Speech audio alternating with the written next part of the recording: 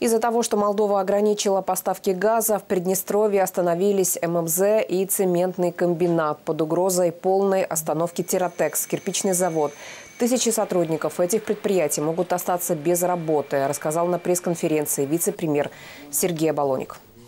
Удар по промышленности – это очень серьезный удар, который коснется не только бюджета и налогов, он коснется трудовых коллективов он коснется устойчивости и возможности вообще существования этих предприятий. То, что сделано, это, этому трудно найти здравое объяснение. Электричество точно останется у тех предприятий, которые производят продукты питания, пищевая промышленность не остановится. В текущем моменте мы предпримем максимум усилий э, с тем, чтобы оставить э, с энергетикой предприятия, которые обеспечивают продовольственную безопасность э, нашей республики. Речь идет о хлебзаводах, хлебокомбинатах, производстве мяса и молока, фермерских хозяйствах. То есть там, где производится продовольствие. На предприятиях, которые уже стоят, работают тысячи человек. Это тысячи семей, которые могут остаться без дохода. Бюджет Приднестровья теряет деньги от непоступления налогов. Чего стоит только энергоконтракт с Молдовой? ГРЭС была основным поставщиком валюты в Приднестровье.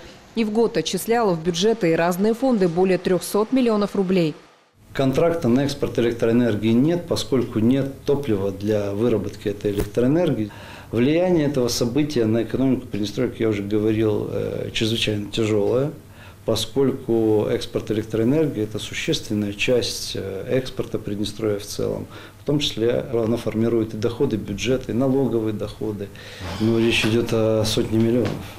В бюджете есть резерв на несколько месяцев, чтобы вовремя выплачивать зарплаты и пенсии, но остальные программы придется сокращать.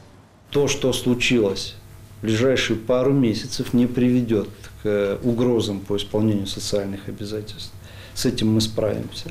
Однако нет сомнений, что все программы развития, ну то есть кап вложения, иные направления средств, не связанные с социальными обязательствами государства, эти направления будут серьезным образом сокращены, в этом нет сомнений. Это придется делать, потому что мы сейчас видим серьезнейшие объемы выпадающих доходов бюджета.